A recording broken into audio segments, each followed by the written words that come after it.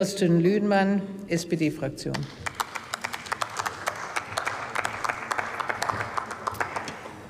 Frau Präsidentin, liebe Kollegen, liebe Kolleginnen!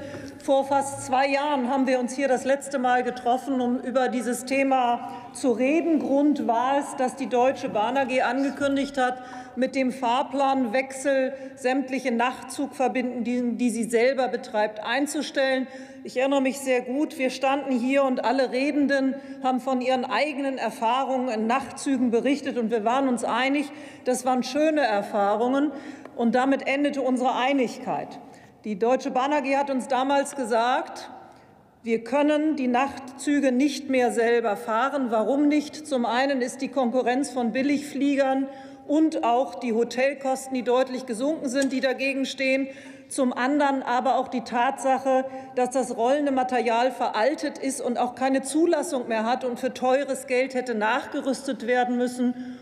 Und zum Schluss auch die Tatsache, dass die Betriebskosten so hoch sind, unter anderem durch erhöhte Trassenpreise im Ausland. Ich weiß es selber, meine Lieblingsverbindung Berlin-Brüssel ist aus diesem Grund eingestellt worden, schon wesentlich früher, weil einfach die Trassenpreise in Belgien so hoch waren, dass es keine Kunden mehr gab, die diesen Preis bezahlen wollten. Aus all diesen Gründen hat uns die Bahn gesagt, obwohl unsere Züge eine hervorragende Auslastung haben. Und Herr Gastl, ich kann mich noch erinnern, Sie haben uns hier berichtet von Ihren Erfahrungen, dass Sie mehrfach versucht haben, kurzzeitig in einem Nachtzug zu reservieren und die Auskunft äh, gekriegt haben, er ist ausgebucht, ich komme nicht mehr rein. Die Bahn hat uns das bestätigt, ja, das ist so, aber trotzdem haben wir eine Situation, dass wir pro Jahr 30 Millionen Euro Verluste einfahren. Und die Frage war, was ist zu tun? Die Bahn hat uns gesagt, wir können diese Verluste nicht übernehmen. Wir kündigen aber an, dass wir ein neues Konzept machen, dass wir also die Möglichkeit für Reisende auch über die Nacht von A nach B zu kommen anbieten. In unserer Diskussion gab es einige, die der Meinung waren, das müsse man nicht abwarten, sondern man könne auch damit Steuergeldern reingehen. Das war ein Konzept, das ich sehr froh bin, dass die Koalition das abgelehnt hat. Denn dieses Geld hätte uns im System China an anderer Stelle gefehlt, wo es eventuell einen wesentlich höheren Nutzen hätte haben können. Und wenn ich mir das heute anschaue, dann war es gut, dass wir gewartet haben, bis die Bahn ihr Konzept vorgelegt hat. Denn die Situation heute, liebe Kolleginnen und Kollegen, ist doch eine sehr komfortable. Wir haben zum einen die schnellen ICE.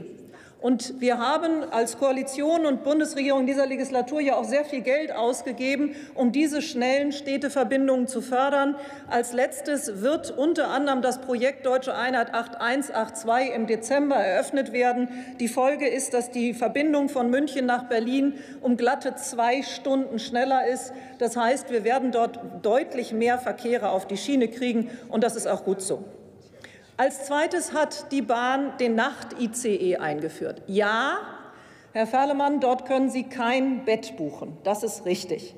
Aber Sie können diesen Zug nachts nehmen, und er hat Liegesitze, die deutlich komfortabel sind als das, was man früher in den Nachtzügen als Liegesitze verkauft haben. Und als drittes Segment haben wir tatsächlich die Nachtzüge.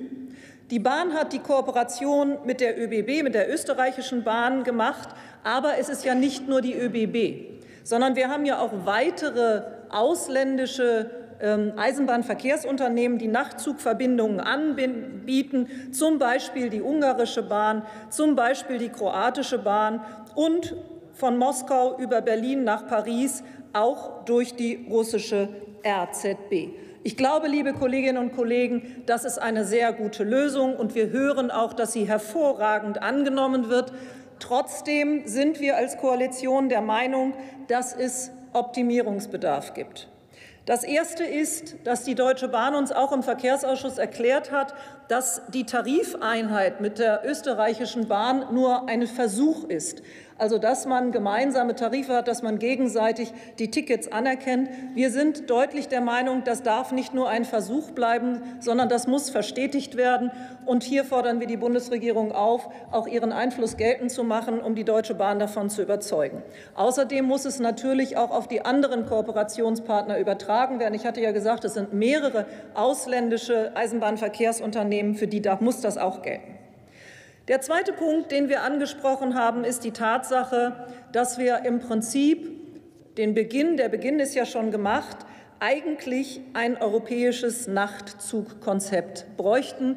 Wir haben, das wurde schon gesagt, sehr viele Verbindungen in den Osten Europas, in den Süden Europas, nur ganz wenige in den Westen Europas. Wir brauchen ein europäisches Nachtzugkonzept. Dazu müssen wir technische, administrative und Wettbewerbsschranken einreißen. Es kann nicht sein, dass Nachtzugverbindungen zum Beispiel durch überhöhte Trassenpreise in anderen Ländern das Wasser abgegraben wird. Das wollen wir nicht. Und wir glauben, dass die Bundesregierung da auch noch eine sehr wichtige Aufgabe hat, nämlich zusammen mit unseren europäischen Nachbarn ein solches Konzept auf die Beine zu stellen.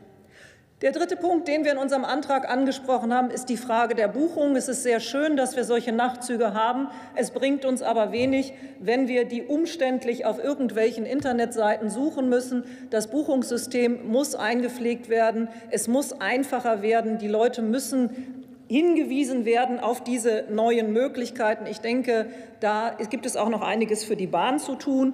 Und der vierte Punkt ist ein ganz wichtiger Punkt. Er wurde heute auch schon angesprochen. Es ist nämlich das Thema Personal. Die Bahn hat uns vor zwei Jahren zugesichert, dass das Personal, das für ihre Nachtzüge nicht mehr benötigt wird, innerhalb des Konzerns adäquat weiterverwandt wird. Wir haben auch von den Personalvertretungen gehört, dass das in vielen Fällen passiert, aber viele Fälle sind eben noch nicht alle Fälle.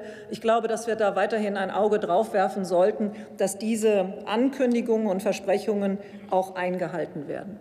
Der letzte Punkt, den ich hier anspreche, ist die Tatsache, dass wir gerne einmal in der Legislatur einen Bericht von der Bundesregierung hätten, wie es mit diesen Punkten weitergegangen ist. Ich glaube, das ist mit der wichtigste Punkt, dass wir nicht sagen, wir haben jetzt in dieser Legislatur zwei oder dreimal über Nachtzüge geredet, jetzt muss auch gut sein, jetzt lasst man die Bahn arbeiten, sondern wir sagen, das ist ein Thema, das liegt uns wirklich am Herzen.